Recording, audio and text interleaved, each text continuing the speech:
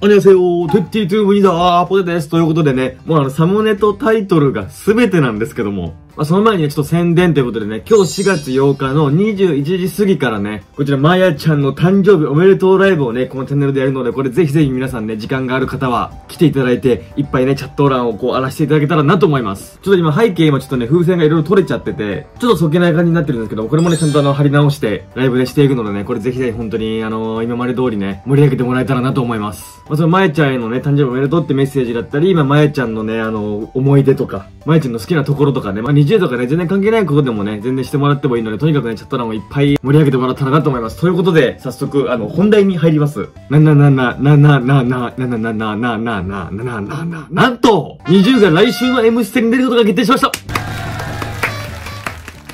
これ素晴らしい。これ本当に素晴らしい。これだからもうさ、スーパーサマーと同じさ、なんかその配信シングルとか言ってるけど、もうスーパーサマーの時と同格に扱うのはもう違うよね。もう MV も出るし、こうね、もう、リモートで、12日にはね、スッキリにも出るし、で、15日の9時からは、M ステにも出るということで、これはいつものパターンだと、M ステスッキリ出るってことは他にも出ます。他の番組にもこれ出ます。まあ、特にね、リモートってことなので、まあ、音楽番組に出ることが多いんじゃないかなと。まあ、リモートじゃなくてもそうか。とにかくね、音楽番組にね、たくさん出るんじゃないかなと思うので、これもちろん M ステ決定、まあ、M ステってすごいからね。日本の音楽番組といえばって言われたら、M ステでしょってなるじゃん。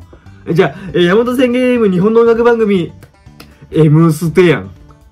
ね？これ。そこの位置にいるのよ、M ステって絶対に。まあ、それかも紅白ぐらいな感じになってくるじゃん。まあ、紅白はでも年一なんで、もうそれに出れるってことがね、もうすごいことなんですけども、それだけで嬉しいんですけども、さらにね、他のね、あの音楽番組がね、多分こうやった時にそこにもね、出れるんじゃないかなっていう。だからこれね、この M ステでも嬉しいし、もう今後の何々に出ますっていう情報もこれ嬉しいっていうね。この情報出るかもしれないっていうこのウキウキをずっと持ったまま、新生活スタート。うーん、これ素晴らしい。うーん、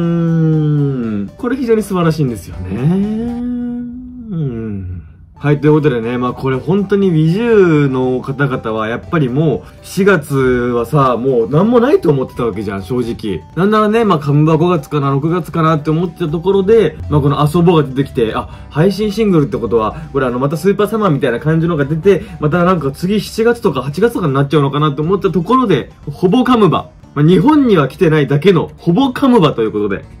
いいですか？これはもう。これ非常に、これ非常にテンション上がる案件なんですけども、まあ、多分ね、こう続々とまだまだ情報も出てくると思うので、まあ、そういうね、情報だったり、まあ、感想だったりをね、このチャンネルで上げて、まあ、一緒にね、WeU で盛り上がれたらなと思います。まあ、もうすぐね、チャンネル登録者数が1万人いくということでね、ちょっと早くね、1万人行きたいなと思うので、これまだね、チャンネル登録してない方は、これ、これ非常にこれ登録してほしい。これ非常に登録してほしいので、これぜひね、登録ボタンを押してもらえると嬉しいなと思います。ということで、エンディング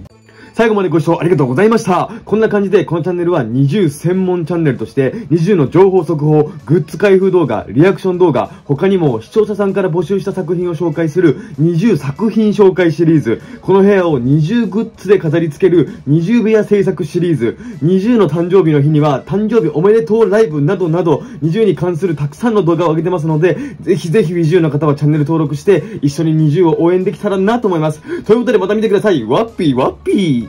あの、本当に9時からのライブ来てほしい。頼む。